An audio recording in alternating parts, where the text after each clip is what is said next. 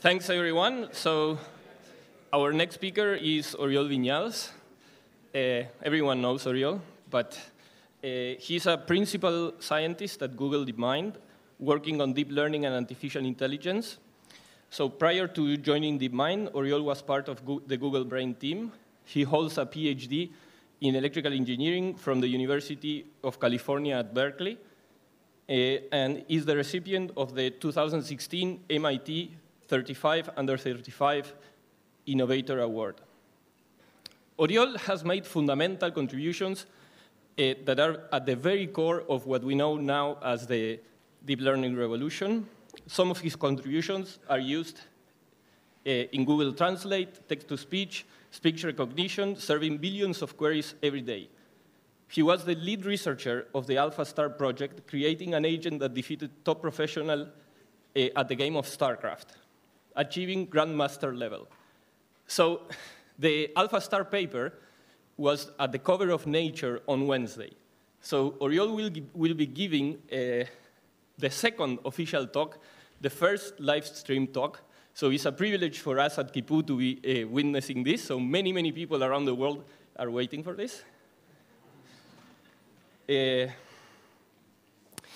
and then finally, I want to say that Oriol has very strong has been a very strong supporter of Khipu since this was a crazy idea.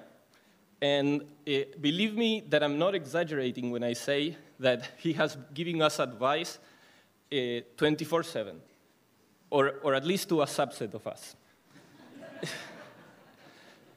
and finally, what I want to say is that Oriol has really strong co uh, co emotional connections throughout his life to some Latin Americans, and I'm thinking of people like Lionel Messi, Luis Suarez, and Ronaldinho Gaúcho. As a good Catalan, he's a hardcore Barça supporter. So please welcome Oriol.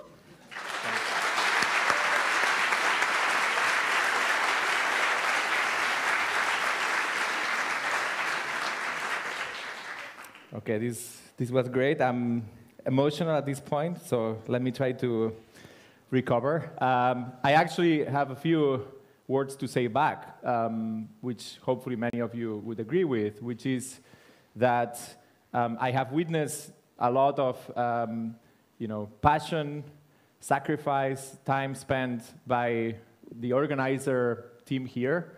And um, in particular, I'm, Mayday is actually my partner, so I, I feel like really happy to be here. Sadly, I could only arrive yesterday, but I almost already lost my voice because I'm so like enthusiastic about um, the whole um, this avenue. So I think um, here we're all excited about artificial intelligence and Latin America, but I will say that there's amazing human intelligence and people that I'm meeting every day now here. So um, I, I would say maybe a big round of applause for the organizers especially.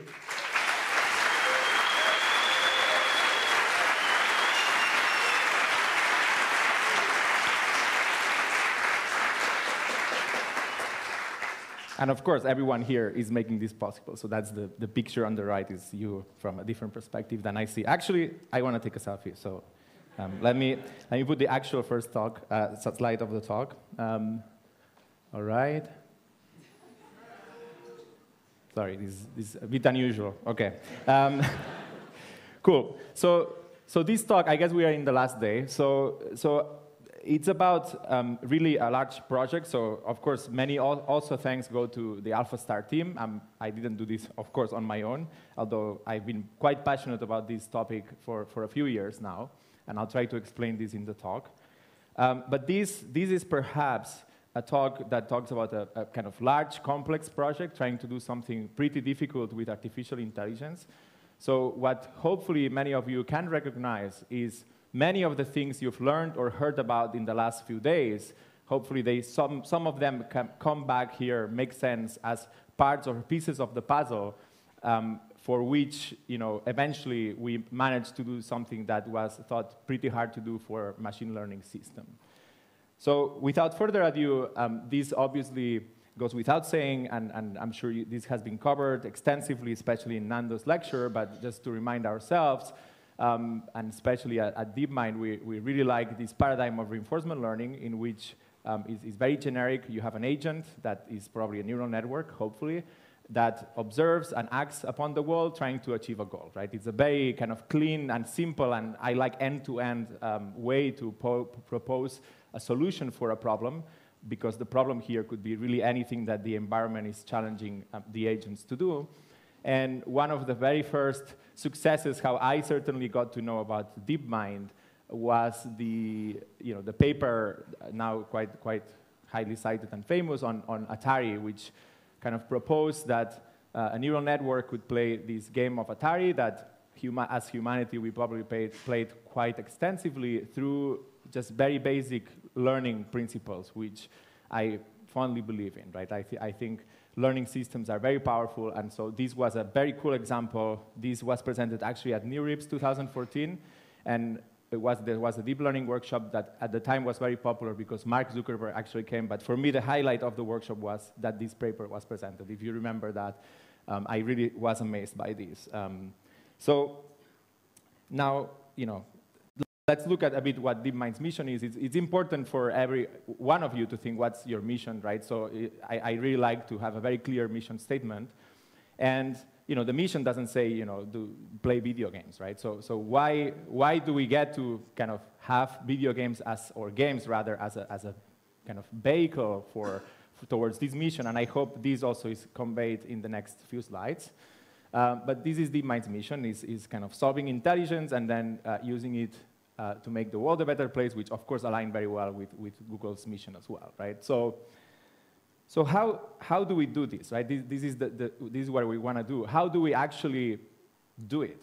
And I think what games have provided us with is a benchmark, right? In the previous session, actually, we, we talked a lot about data sets and benchmarks and evaluations. So in a way, games have been quite interesting for humanity to master. I think it requires an amount of creativity, intelligence, and it's certainly fun to play games, board games, video games, and so on. So the approach is, can we see video games or games as a benchmark to assess how far along the way of solving intelligence we are?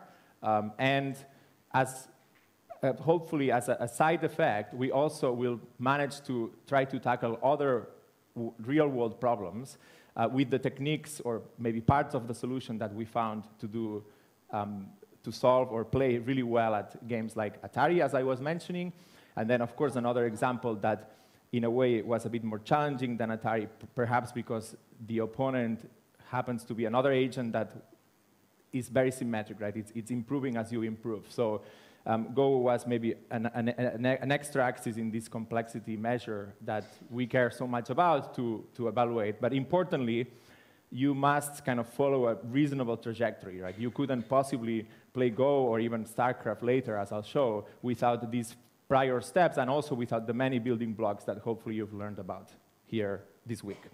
So this is the part of the talk that I asked the people in, in the public, how, how many people, let me see if I ask it in an engaging way, how many people do not know at all what StarCraft is about?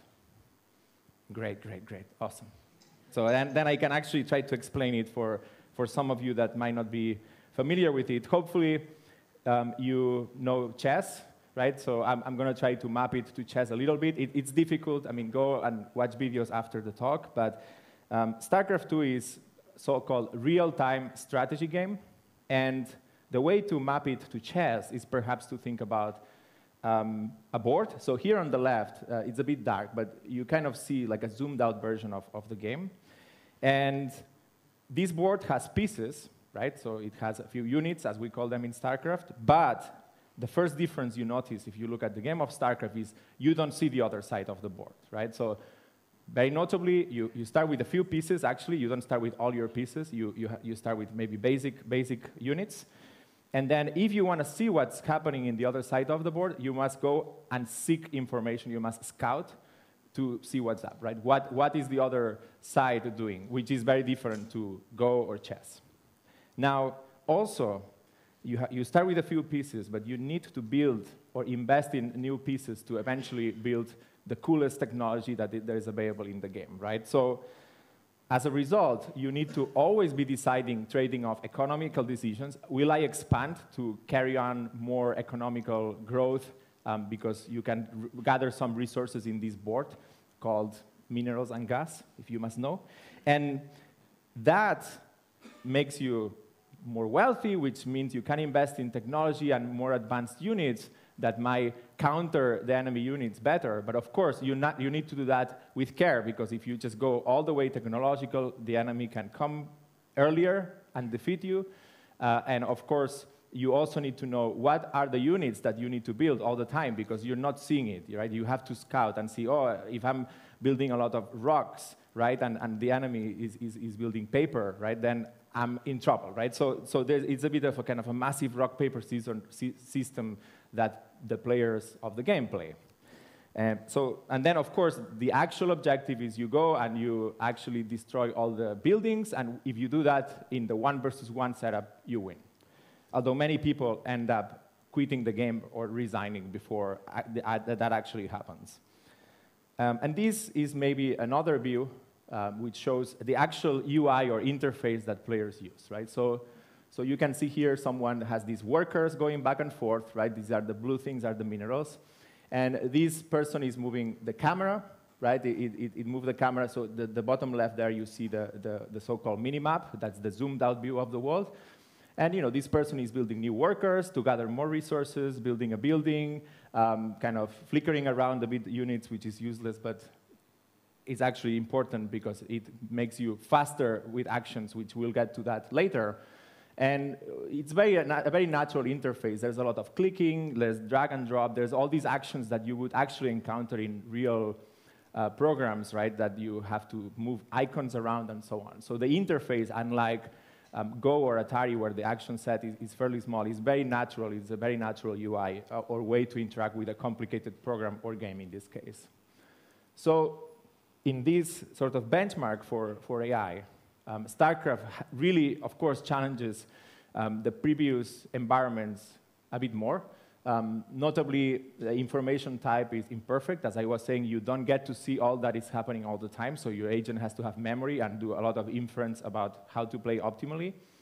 And then maybe the other one that's, that's fairly drastic is the action space. So in StarCraft, if you think of all the possible click combinations with the mouse and keyboard and so on, it turns out that there's quite a large action space um, because there's a combinatorial set of units that you can move around and issue orders to. So it's, it's a fairly challenging task. And of course, as usual in machine learning, the more, the, the more challenging the task is, the, the, most, the more fun it gets, to be honest, right? So um, to me, when I saw this, I thought, okay, this would be a great way to learn reinforcement learning and also to stress test the deep learning models that we so much love. And so actually, StarCraft has been used as an AI research platform for a few years now. Um, in fact, it was first proposed circa 2003. And then since 2010, there's been an AI versus AI competition going on um, held by the community, which is very active and very enthusiastic about this. So our involvement really um, started only in 2016, which is the year I actually moved from, from Brain to DeepMind. And the first step we did there was to open source both the environment or the game engine, and also we open source critically something that will come back later, which is what so, uh, the so-called replays, which are the games that are played online. Blizzard was very, um, very nice to anonymize them and put them as a massive sequence modeling data set for people to play with, right? So we'll get to back to that later. So we open sourced it, and then um, I'm here to explain you a bit, the, also what happened in the history of the project ever since we open source and we start tackling the full game of StarCraft. One thing that I look back to and I, I find interesting was that back in 2011, I was a graduate student at Berkeley, and uh, Dan Klein, who was the, the, the, professor leading the project at Berkeley that built an AI that actually win the, won the first competition in 2010, he decided that it would be fun to teach AI to students. So please consider this if you want to, you know, kind of excite students to work on AI um, in your universities. So he decided that to teach certain concepts of AI, it would be more fun to see it happen in a video game, right? So at the time in the class, things like um, A-star algorithms, which sounds a lot like alpha star, but it's a different thing. So, so pathing algorithms, planning algorithms, all sorts of kind of maybe more towards classical AI systems were explained in the class, of course, but then the homeworks involved students actually implementing these and then seeing it, how, they, how their agents that were playing the game were acting or were using these algorithms, which I think pedagogically was quite interesting. But what also stood out at the time was that um, he had this slide from the class, and he said, no single AI technique can solve this problem off the shelf. And probably, of course, at the time this was true, but I think what amazed me is that we managed to have a single neural network that can pretty much play the game at very high level. And so I think this talks to the, you know, the progress in the field. And really at the time, I kind of had dreams of doing this when I was working on this project. And actually, I got to meet people like Ilya actually through this game because my first email about RNNs was on StarCraft. Anyways, long story. But it really is the case that um, it felt really, really hard to do this with a single technique, and that's why this was taught as part of a class uh, that the curriculum was you know, showing several AI techniques. So the next part is interesting because we are at the point now that we say we're going to play one versus one, and although this actually hasn't been considered by prior researchers too much, um, we had to be careful about, well, a machine will play the game differently, will observe the game differently. There are many things that there's so many caveats that, that are impossible to make you know, in sort of equal ground with players that play the game. But one that stands out a lot is how professionals control the keyboard and the mouse so to interact with the game as we saw in that first person view. So this is a professional gamer. The sound it is only the only video that has sound, but I didn't connect it because I thought it was not worth it. But you can imagine the amount of clicking um, that is going on given the movement of the hands of the professional player. So, so these players can issue hundreds of actions per minute quite precisely to the game when they have to a lot of action in terms of moving units around and issuing commands, multitasking, right? So it's very important to be really, really fast. And um, again, it's very impressive to see this live, actually, I, I or at least look, take a look at videos. It's, it's very impressive, right? So, so when we tackled this, we, we, we thought, what could we do? And you know, the first approach would be, okay, okay, well, let's create a robotic arm to play the game.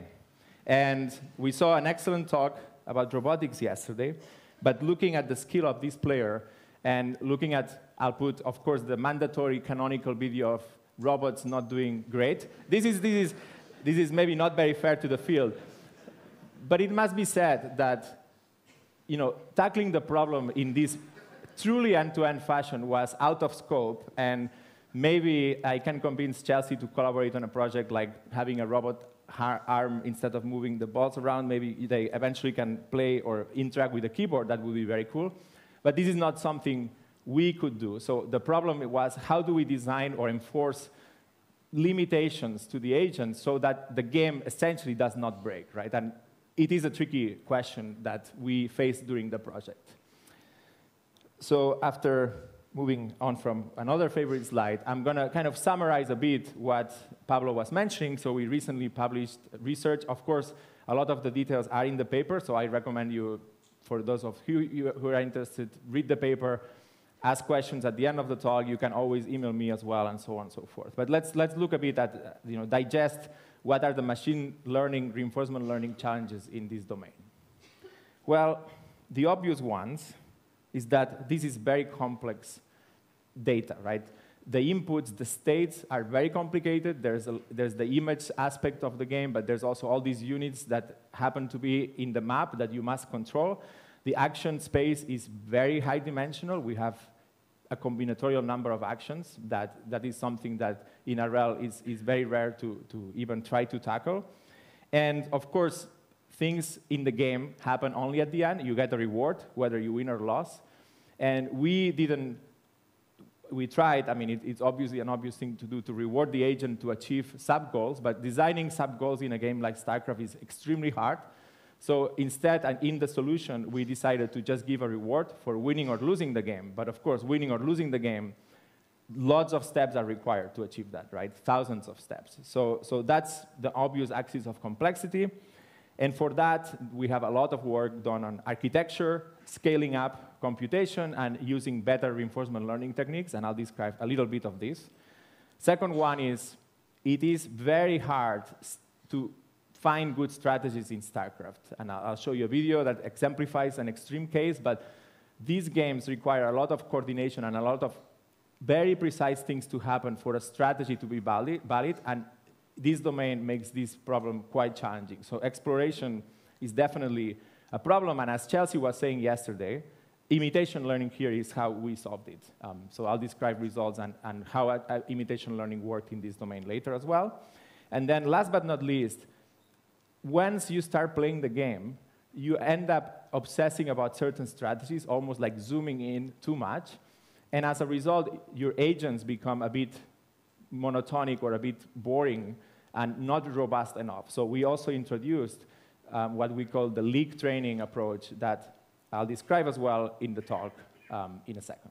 So, and of course, the other axis of complexity is how do we make sure that there is some notion of fairness when we play this game? Because we intend to, of course, play this game against players, and so we would like the players to be happy with the constraints that we impose to the agents, so not, not to allow tens of thousands of actions per minute that even that professional player couldn't possibly issue.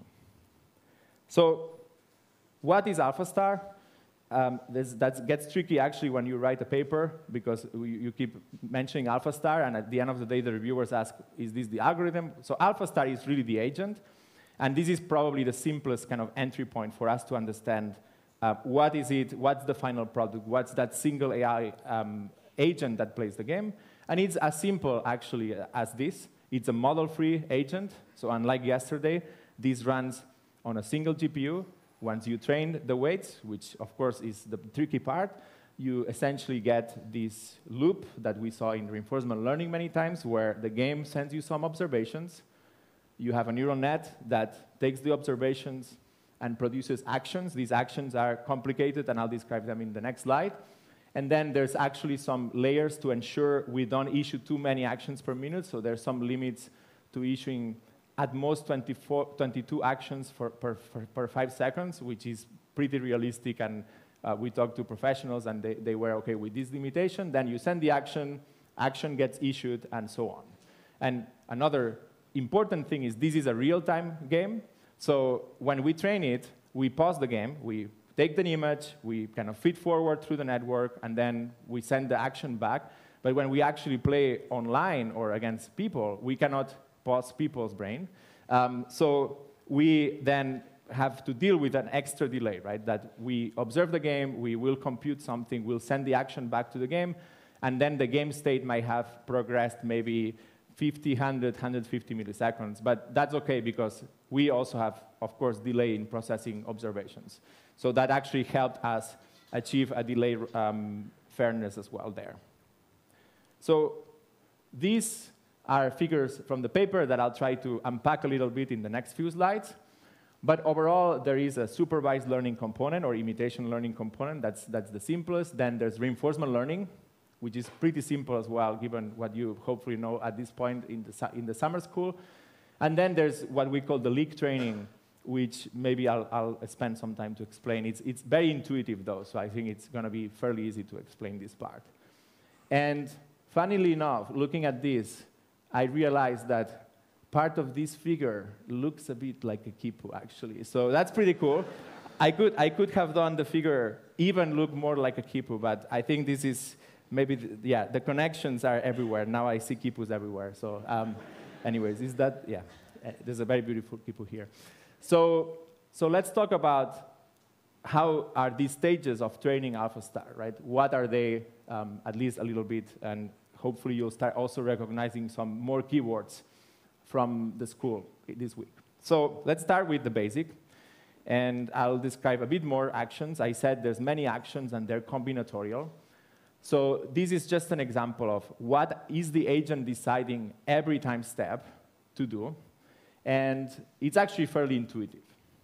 Agents have access to all the units in the game, and they issue sort of instructions to them to build buildings, to build units, to move, to go scout, to build a new base, to gather minerals or gas. So in this case, this action in particular created this crystal force field that blocks a ramp, which is an element of the map, um, that is something very commonly used to kind of block an incoming attack or delay an attack. So you put this kind of thing that is temporary here, and then you, you have some time maybe to gather your, your, your units around to defend better. So this particular action requires a few arguments. It's a bit like an API or a function call into the game. it's very intuitive and very generic, actually. Any sort of computer program that can define uh, you know, a library of functions that you can call into to achieve a reward, that the, the same architecture and principles really apply, which is amazing, right? So the first thing that you must decide is what is the action that you're going to do. In this case, we decided that we're going to issue a force field action, which creates this crystal, that's the name.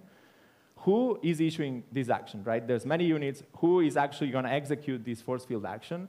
And in this case, we can see that the units selected are these seven. So the agent decided to issue the action on the group of units comprised by four sentries and three stalkers. This action can only be realized by the sentries, but that people do this all the time. You can issue an action to a group, and then the game engine figures out which unit does the action. Um, and crucially, we, we did not kind of specify any knowledge about which units can issue, issue which, which actions. This was all learned by the algorithm. Then where is an important question. Where do you put this force field now that you said who is doing that? And then on the ramp or the XY coordinates are something else that the agent must decide to output. And then when is also important because we don't act every frame. Otherwise, we would be issuing tens, of, tens of thousands of actions. So the agent decides a delay for when it's going to observe and act next, which could be in a second, please give me the next observation, and I'll decide what to do then. So the agent has to a priori say, the delay until the next action. And then we have a special mechanism that is, if you want to repeat an action, you can. I mean, many people do that, especially for the race Zerg. If you know what I'm talking about, you might know what I'm talking about. Anyways, so repeating action is also something the agents do, although most of the times actions are issued once, of course. So, so these, of course, that's kind of the, the, the, the nicest part, which is this is the neural architecture that manages to map the inputs to the outputs. But the cool thing is here, all the components that I'll explain um, are fairly generic, general purpose learning algorithms, right? So it's, it's hopefully going to come up with almost the obvious solution given the deep learning toolbox that I was mentioning actually in the morning. Um, we just take that toolbox or architecture component and plug it in in the places that they're almost necessary for you to create an agent that potentially can cope with the complexity of input-output space that StarCraft proposes, right? So let's look at how we encode the observations. So observations in StarCraft, the way we act or observe rather on the game, they're not quite like the raw pixels. Playing from raw pixels would increase quite a lot um, the amount of data required. So we did a kind of a um, approach where we use image, imagery from the game, namely this zoomed out view called minimap. That's input um, here in the right called minimap. But then we also have another modality, if you will, of seeing the game, which is just seeing a structure or a list of the units in the game, right? So this is just a vector or a set of units that are present in the current state of the game. And that's, that, that is extremely important. And then last but not least, there's scalar features such as how many minutes have, have, have the, has the game been played for. Games typically last tens of minutes, perhaps. And other scalar features that are cool, for example, that are important for imitation learning is what's the skill of the player I'm trying to imitate. So actually, we pass a number which is called MMR, which is how strong you are, also in, as part of a scalar feature. So these are three streams of data. How are they encoded? Okay, not surprisingly, the minimap, which is an image, is encoded with a deep ResNet, right? So that's the standard image or computer vision um, component that you would use. A scalar features, this is a vector. Um, it's encoded with an MLP or deep neural network. Um, that's, that's also extremely trivial. And then these entities or this set of units, um, because we know how powerful transformers are, um, we just heard this probably a few times, and I saw some amazing posters actually. We decided to encode this set of units This set in StarCraft happens to be about less, always less than 512 elements, so we have a set of up to 512 units, and we encode that with a transformer, uh, which crucially does not consider these 512 units as a sequence, but an, as an actual set, which is very natural because transformers without the positional encodings actually are encoding sets. So that was a great coincidence.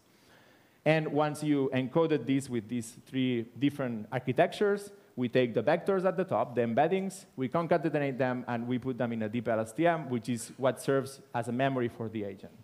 So again, fairly conventional architecture, although of course it's very state of the art. We use transformers, we use a few tricks found in the computer vision community and so on and so forth.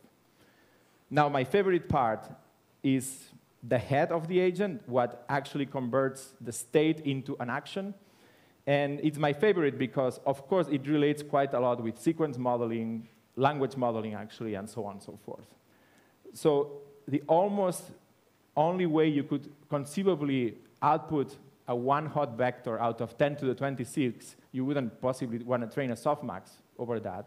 So what you're going to do is you're going to decompose actions into sub-actions, but still model the joint probability of this action with the chain rule, which is exactly how language model works, right? So imagine a little bit that in StarCraft we must output words. Words are your actions.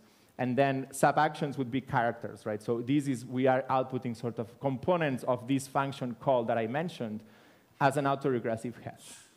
The way it works is, again, extremely simple except for the last two, which are a bit special.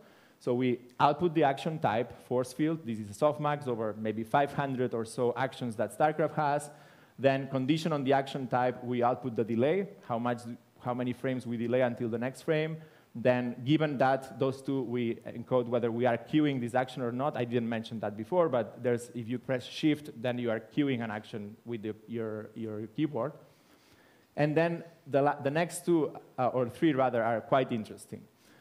So the first one is probably the most, the one that requires some sort of merging all the things we know about attention, autoregressive models, and so on, which is which subset of units will issue this action. I have a set of up to 512 units, and now 1, 2, 54, a subset of these units, I will issue, move these units somewhere or create this force field in the ramp.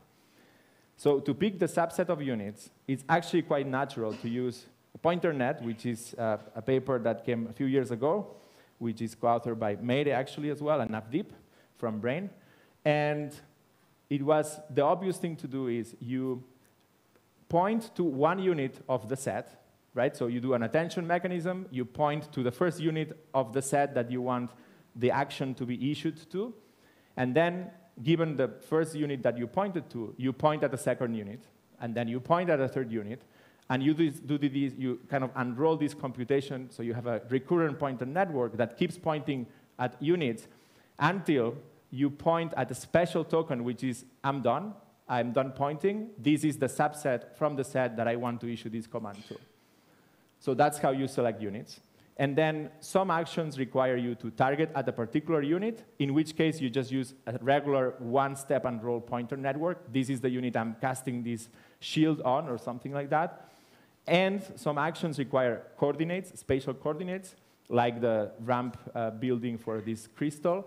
Then that would be a target point that is simply a conv deconv network um, coming from the minimap coordinates.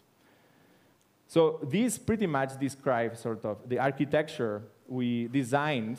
Um, again, it's somewhat specific to the modalities present in StarCraft, but of course, if you have any computer program that has lists, sets, images, sequences, you can just mix and match these components, which is a bit the point, right, of deep learning.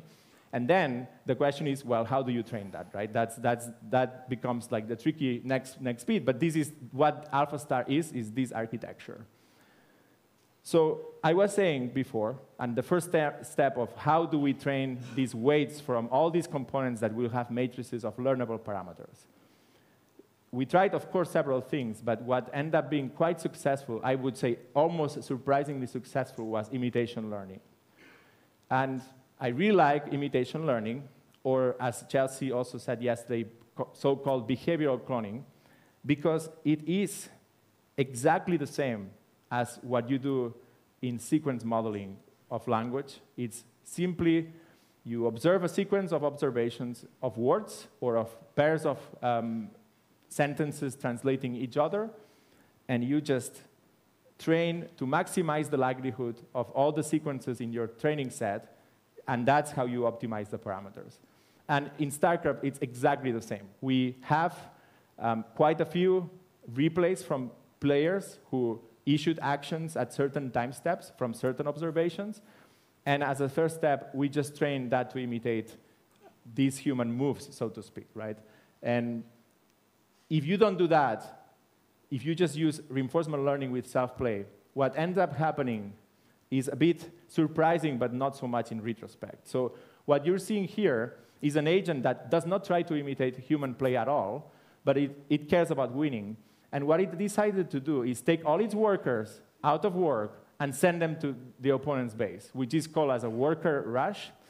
And it actually, I mean, it's, some people do this. I mean, it's, it's easy to play like this. Um, it, it, I'm not sure, you know, it's very nice to play like this, but it's certainly possible. And the surprising thing is that an agent that trained um, without any sort of imitation at, got attracted to this. And it's not very surprising, right? Um, I'll replay this. The problem is if you do random actions in this very large action space, the very first thing you'll do is take your workers and move them around, scatter them in the map, and do some nonsensical thing, right? So one of these episodes or trajectories, you will happen to maybe go to the opponent base. The opponent doesn't understand the game at all. It's the agent that is a random agent. So if you actually attack the main building by luck, right, randomly, you will do that in some episodes. You win, you gather a, re a reward, and then re you reinforce that behavior. And then you zoom in into this very naive strategy very quickly. And let me tell you, against humans, this doesn't work. Um, I mean, some, maybe some, it, it, works to some extent, but, but it's not the recommended, let's say, way to play the game. But also surprisingly, this agent actually beats the, the built-in bots that are present in the, in the game. So this is actually the agent playing against the cheat insane AI, which is the 10th level of difficulty uh, which also tells us that, of course, rule-based approaches like the ones that are present built in in the game, they also, of course, have limitations and they can be exploited. Um, you can actually see that the other side tries to defend, but the agent is smart and hides behind the, the minerals and so on, right? So it's, it's an interesting problem, and you can start understanding the exploration issue that we heard about being so critical to solve in a game like StarCraft. So as I was saying, in imitation learning, all you do is minimize the KL divergence between the policy action. Here is just this autoregressive softmax for all these different action components that I described against a very large data set of human replays that we gathered. And these replays come from a bunch of skill levels for players. Like the players are placed in leagues online, and we, we start from platinum, diamond, master, and grandmaster. And you simply train to imitate the actions. You don't understand winning at all because this is not a reward system. This is simply imitation learning. And additionally, we also condition uh, the policy with a high-level latent vector that essentially summarizes an episode that will serve a purpose later on in the AlphaStar League. And it turns out that this agent with pure imitation happens to be quite all right, actually. It plays the game quite well. Um, in fact, in our internal test ELO, ELO is a score of uh, very widely used in chess. 400 ELO points are equivalent to a win rate of 90%. So if I'm 400 ELO points lower than you, you will beat me 90% of the time, so that you get a, an idea of the scale of ELO. So we see that no human data, but using self-play gets to about 100 ELO points. And without reinforcement learning, just the imitation learning agent actually gets to 900 ELO points, which is much stronger, right? And this is against a held out set of agents that we tried and we published uh, in many ablations in the Nature paper. So one other cool thing that you can do with imitation learning, this is essentially a bit of ImageNet or language modeling. We have a loss, we minimize the loss, and so to decide every of these components that we start adding to the agent architecture, we could do all these ablations based simply on imitation learning. So if you have an idea of a better architecture to play StarCraft, it's much simpler to add it and retrain the model on supervised data and see if it plays better than to just run the whole process, right? Because that would cost a lot of time. So here, there's an ablation where all these components that I described, pointer networks, transformers, scatter connections, which I did not really define very well, or predicting action delays, made the win rate of the supervised agent against the best bot built in the game essentially from 0%. We beat the easier bots, but not the harder before this point, to beating it about 87% of the time. Okay? So that, I think it's, it's very, and, and if you see the agent play, it really kind of seems like it's playing the game like a human would to some extent, which is very nice to see. Now, I'll describe a little bit very intuitively how reinforcement learning works, which is the next step. First step is we take essentially hundreds of thousands of games from humans, so it's a fairly large data set, and imitate it. The next step is reinforcement learning, right? So if you do self-play, that means you play against yourself, and now you only update your parameters based on whether you won or lost a game, right? That's the only reward we care about.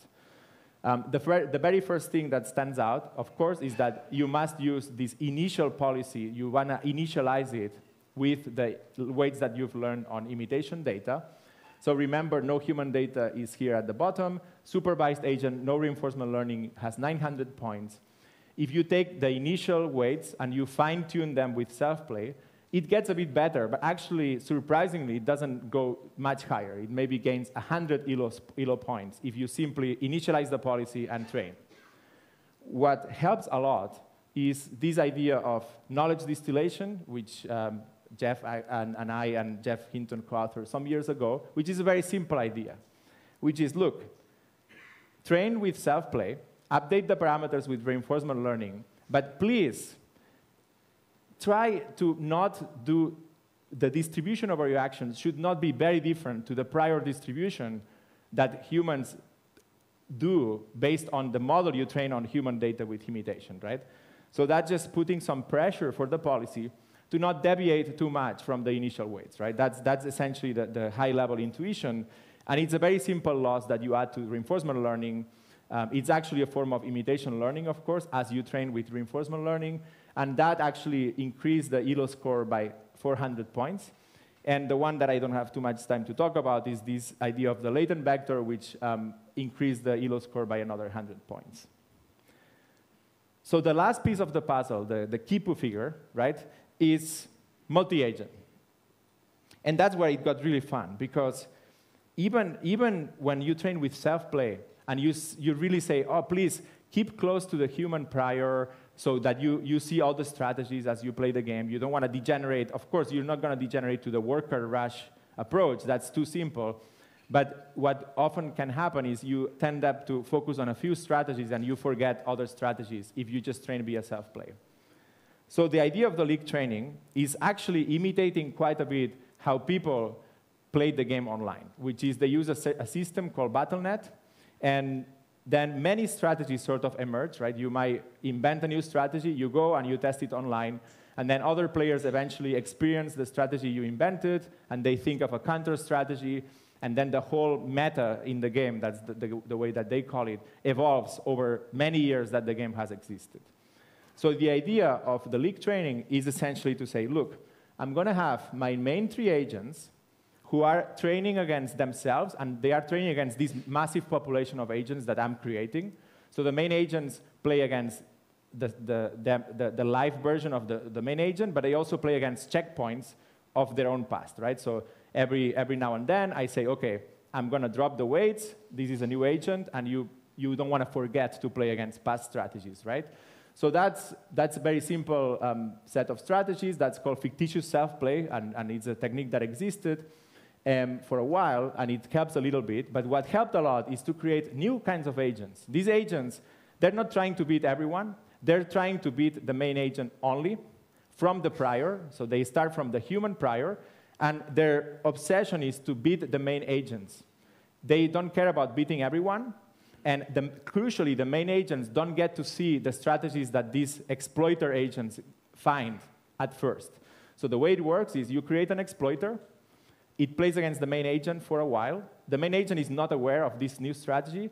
Eventually, the exploiter managed to beat maybe more than 70% of the time, say, against the main agent, at which point the exploiter says, I'm going to add myself to the league, I'm going to expose the strategy that I found you to be weak against, and then I'm going to try something, something else by reset, resetting my weights to the supervised policy.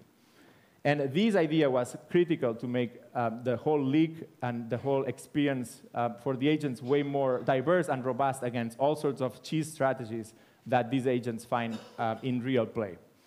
And just to exemplify this, um, this is a, a, small video that shows the game, but it is actually from the actual training of AlphaStar. So what you see here is in blue, you see the main agent, and in red, you see an agent that found this strategy called Cannon Rush, which is building cannons close to the enemy base. And you see it succeeded. And now the blue agent, he's at, it's at home, right? So you just build it at the enemy base very, very quickly. And the blue agent at this point does not know what to do. Maybe this strategy is not present in its, its own set of strategies that it knows. And the red agent will succeed, right? And this is, the red agent is an exploiter. It tries to refine this strategy. Eventually, the red agent drops a checkpoint, and now the, the, the, the blue agent actually knows that if it sees these buildings early on, it must actually go and essentially freak out and defend, right?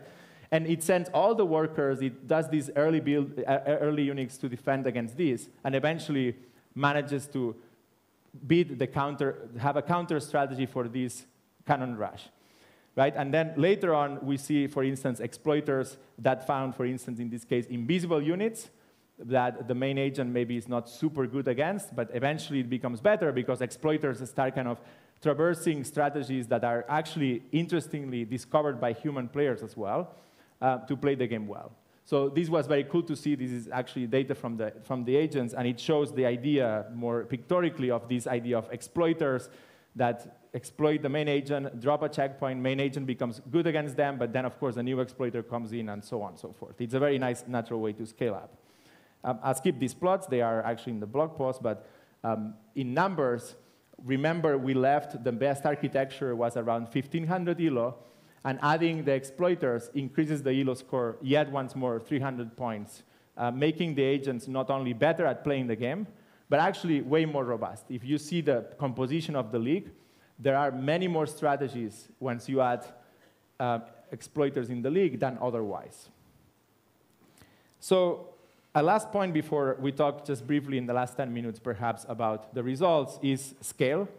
All these techniques are very data hungry.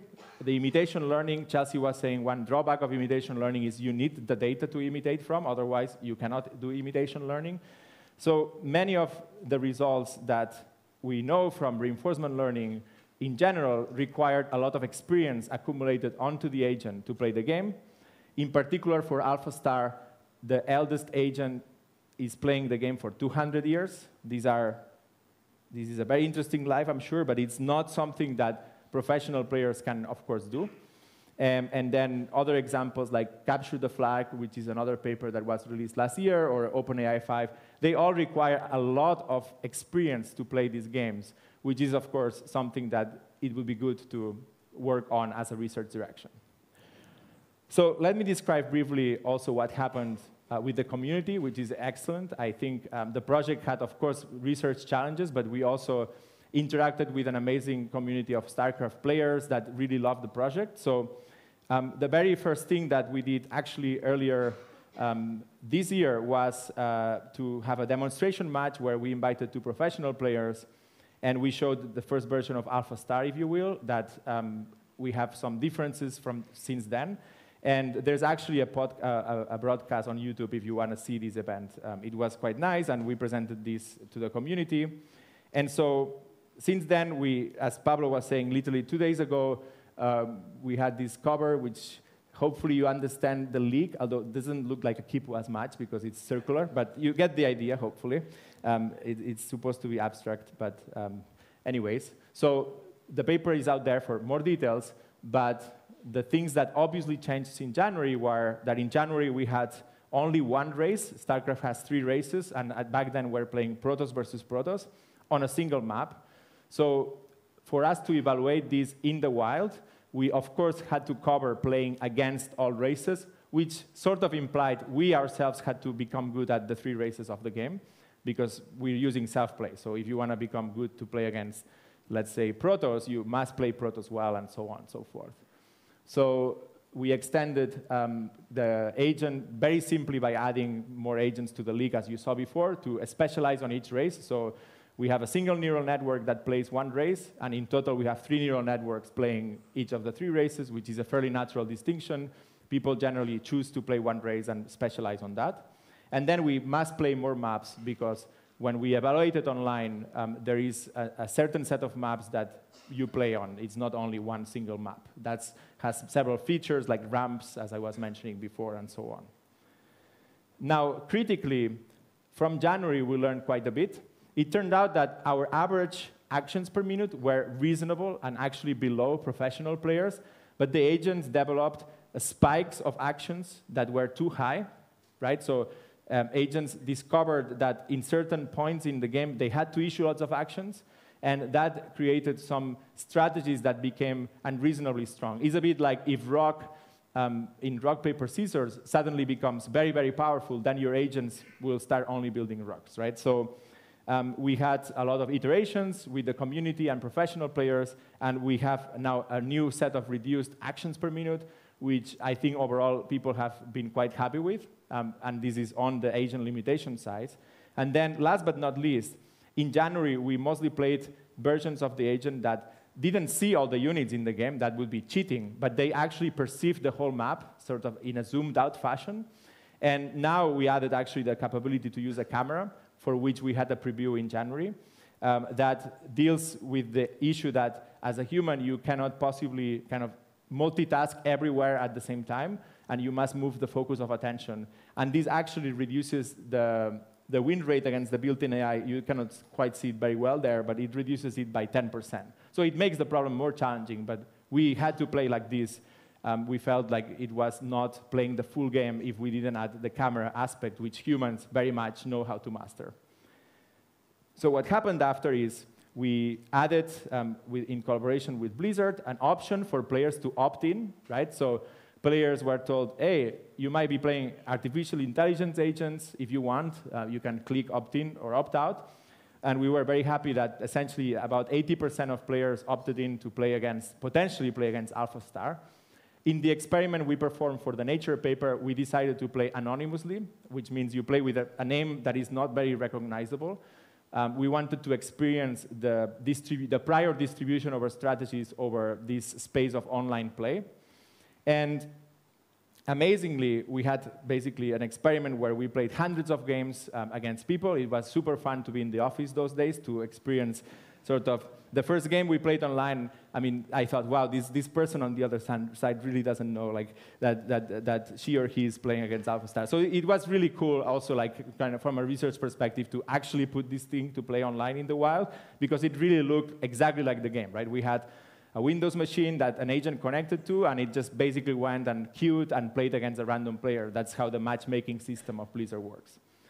So the highlight of the result, I think, is twofold supervised or imitation learning is actually surprisingly good. So here you can see the ELO score that Blizzard uses in their servers called MMR, and this is the amount of players that are above that MMR, right? So um, players are organized in leagues.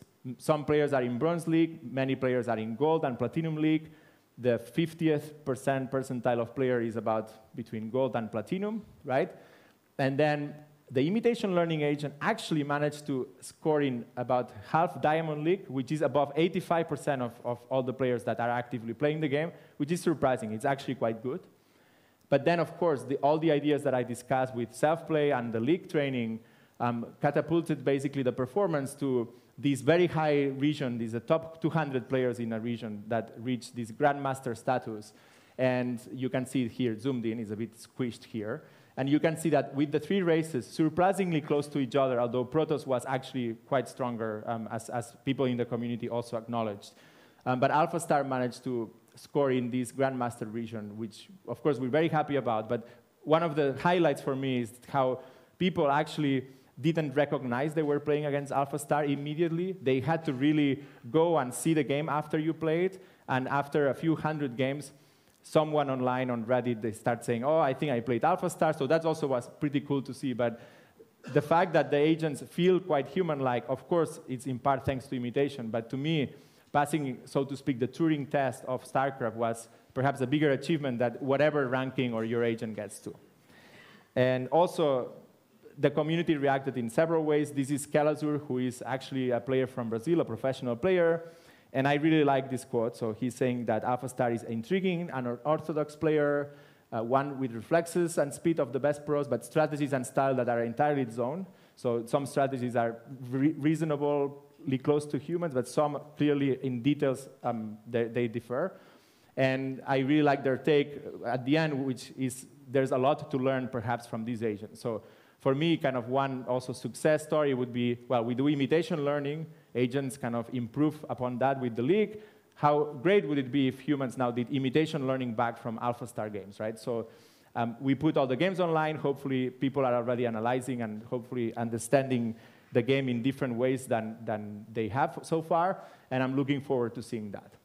And last but not least, this literally happened a week and a half ago where we were all in LA. We went to this convention that is for games. It's about 40,000 people um, in California. And there we actually wanted to do one more experiment, if you will, more actually for, it's not really an experiment, but more for just giving a bit to the community for them to have the ability to experience AlphaStar. So one thing we did was we actually set up some, mach some machines in the floor of the convention for people to just come and challenge AlphaStar. So um, you can see the setup here. We had actually about 30 machines in the Google offices in, in, I think it was close to Los Angeles airport. They were connected with Anaheim, which is where the convention center is about, right? So you, you and then people were essentially here, sitting down, and they could essentially play against AlphaStar and we had two days basically of people coming and stopping by and playing. And it was really fun. It was great to see. It's very blue, but I mean, that's how it looked like. So it's a, it's, it's a video gaming convention. So it's a bit, it's a bit unusual, let's say. But uh, it's actually very, it's very nice, actually, I, I, I, um, I must say. So we had a lot of players coming, right? And actually what started happening is people also started putting their victories against AlphaStar. So I think this is Jacqueline. She, she, was, she, she beat the, the, the, basic agent, so we actually put two agents to play. One that was the basic agent, including the imitation learning agent, which is about Diamond. And then we also had the advanced agent, which is, was actually a mixture, but mostly like Grandmaster level, right? Um, so we played kind of about 1,000 games. Um, and this obviously was non-anonymous because people kind of, I, and I feel actually people might have played worse because maybe they somehow they know they're playing AlphaStar and they play differently. But uh, anyways, it was really, really fun to see. And then perhaps as, as a last thing, the highlight of, of the event was when Serral, who is one of the best players in the world, actually stopped by, and it was a bit of a moment of year to year, everyone sort of came and watched him play against AlphaStar, which was great to see. And um, anyway, so fun times.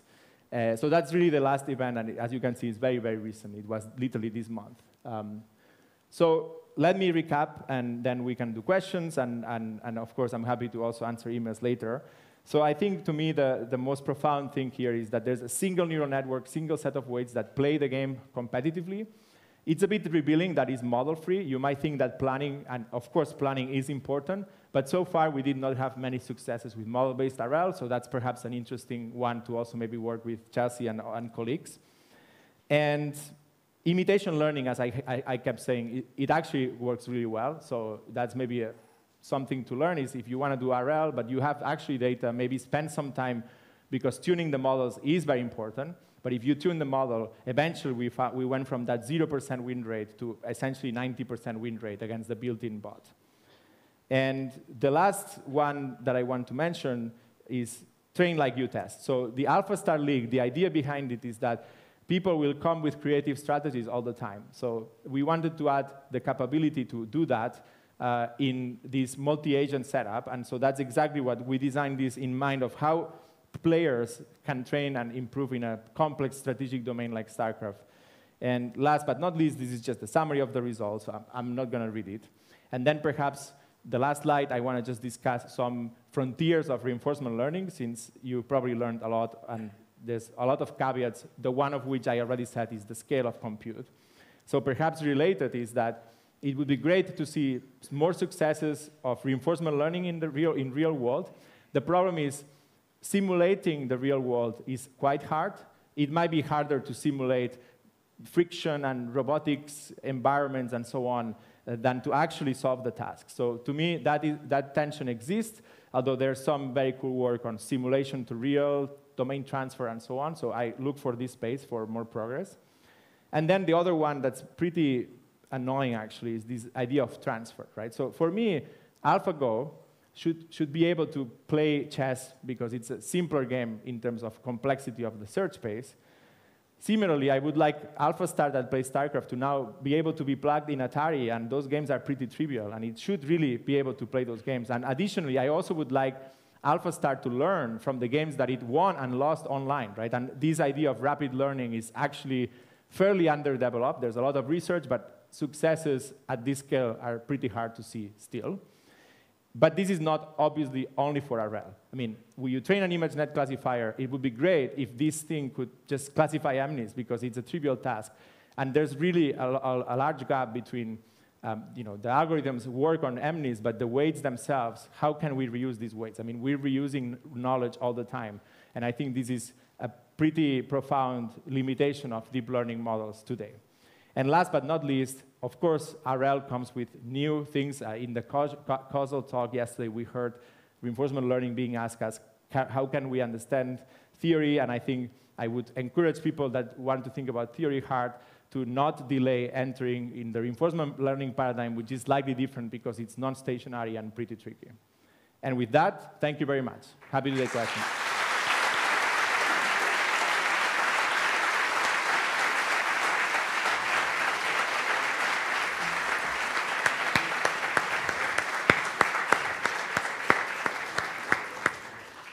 Thank you very much for the awesome talk.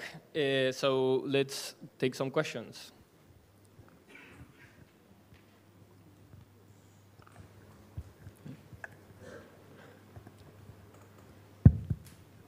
Hello. Hey. Uh, I think it was very impressive the performance you could achieve uh, solving StarCraft. And my question is that now that we are trying, uh, we are solving in StarCraft, we can scale to the more challenging scenario in which we can have team play, for example, two against two, three against mm. three players in those strategy games. And I wanted to know if you have uh, the ambition of solving this uh, scenario and mm. how much you think we are far from solving this collaboration problem. Yeah, so th this is a great question. The question is about, of course, we play the canonical professional gamer played one versus one, but in StarCraft you can play as a team. And I would say that um, StarCraft, the game itself, has been mostly tuned to be balanced in one versus one. That being said, and uh, in, the, in the slide that I kind of passed through quite quickly, but there are lots of cool work on teamwork games. So um, I want to highlight, of course, Dota 2 that OpenAI played. That's a five versus five game, and the game is meant to be five versus five. The one versus one is, is actually not that interesting. So that the techniques and so, there's some differences, but of course you can see overall that good performance can also be achieved in those setups. And then another work that I mentioned is this of capture the flag, which I think is six versus six, and it's more like a three-dimensional environment where you need to capture the flag of the enemy and so on. And that also, the, there's an awesome paper in Science um, last year, last year, not last year, um, that um, talks about actually analyzes very nicely. The, the data analysis in the paper is amazing how the agents kind of learn to collaborate, or, or you, you stay back in the base defending the flag, and, and, and the sub-team forms and goes and, and seeks you know, the, the opponent's base and so on. So that paper from a multi-agent collaborative space is, is very good. And I think essentially the answer is these techniques will work, but also it's a very interesting setup to think about agents collaborating, of course, um, not, all, not only like competing, right? So it's very cool, but lots of research is actually happening, which I'm, I'm quite happy about. Thanks. Cool. Okay, maybe one more question. I, I can repeat the question. There's one here. Y yeah. I'll repeat it out loud. It's fine. Yeah. Mm -hmm. I can start again. So the question is about fairness, and you mentioned the number of movements per second or five seconds. Uh, but then you also mentioned the time of training. Mhm. So how do you go about deciding what constitutes fairness? Yeah, and, yeah. And, and why does it matter? If you're trying to win the Turing Yeah, test, yeah, yes, it's a but good if you're not, So, so let, there's a few questions. So, so maybe I'll answer the last one, which is, well, why, why does fairness matter? And actually, many people ask this, like, why are you limiting your agent? Treat it as a reinforcement learning project uh, pro- problem, and just do, try to win and, and see what, what comes up. The problem, uh, I think, especially in games like StarCraft, is it's, it's a game that's been designed with some of these limitations in mind. So what we wouldn't do is kind of to break the game, so to speak. As I was saying, I don't, I don't want suddenly for rock to be suddenly very powerful, because then the, the game of rock, paper, scissors becomes uninteresting, right?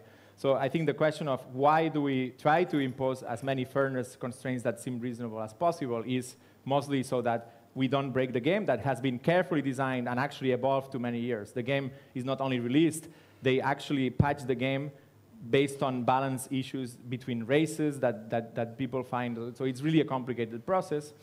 Now, the other question is about, well, there's two questions really. Maybe one you didn't ask, but I'll answer, um, which is the actions per minute is one obvious element of, uh, of imposing some limits for agents, but there are actually quite a few more. Like how precise are the actions? I mean, people that play might, might get, you know, if they get under pressure, they might start making mistakes and so on. So it's really hard even if we had the robotic arm, to really say, oh, this is exactly you know, how, how, how people attack or play the game. So you know, we, we did something that is reasonable in that aspect, but there's always going to be more. I mean, you see an image, do you add noise to the image? I mean, certainly we have, a, you know, we have more precision in the center of our eyes. It's a very cool, actually, I think, problem to start thinking about, and, and, and one that I think more people might start discussing. And then last is, okay, fairness about these agents play 200 game years, and of course, professional players play a lot the game, but order of years of the, you know, cumulatively, right? So that's, that's interesting. I think my partial answer to that is per- perhaps talking about the research problem as well, which is that of transfer. Um, certainly, people can master this game much quicker, but on the other hand, our neural nets pretty much come with random weights. And in that sense, right, it would be great for more continual learning to happen, right? I would, I, as I said, I would like to um, have agents that can do all these tasks at once, and I probably would expect in that case the amount of time trained would be reduced. But of course, that's an hypothesis. Many people probably believe it's true, but still research is needed. Um, and it would be certainly interesting, though, to kind of limit the amount of experience of agents, and, and there's some papers that do that, and it, we didn't de- do it in the project, but if you limit it clearly, like the ceiling of performance would be quite, quite lower, but it wouldn't be, it would be still probably above average play, I would say, in terms of percentile. It's a great question, though. All right, another question. Ah, there. For example, in the Atari paper, in my opinion, the main contribution was not the superhuman behavior on games, but things like the replay buffer and the target network. So in this case, what is your opinion on what's the, the biggest contribution? Okay, so that's a great question as well. Um, I think there's one contribution is that if you have a very highly structured, high dimensional action space, this is one way in which you could solve those, those problems. And of course, action spaces in Atari that there's essentially 10 options to choose from, um, that paper showed us how to do it, but for highly structured dimensional action spaces, I would say these things demonstrate um, how to architect a neural network to do it, and I would say that's one of the major contributions. Another one that I think is quite cool is this idea of exploiters, which I think relates to some extent with adversarial examples, right? So basically, the TLDR with RL is that if you have an agent, this agent probably has weak spots, so train against the agent to find these weak spots so as to robustify and make the agent more better when you deploy it and you're going to see samples that are not going to look quite like the ones that you have in the self-play distribution. So this, this, this is one attempt to make the agents more robust, but of course robustness in, is a, in agents is extremely important. And ideas like the league, I think they, they, they will just kind of be, if you have a complex domain, I think this idea of um, explicitly rewarding playing against or robustness is, is going to be important. So I think that's pro probably another contribution. There's some in RL that I didn't touch, like, but look at the paper. But anyways, those are more technical, but th these at high level, I would say these are two of my favorites. Okay, thank you. So we, we have a question up here in front. The guy with the Uruguayan shirt.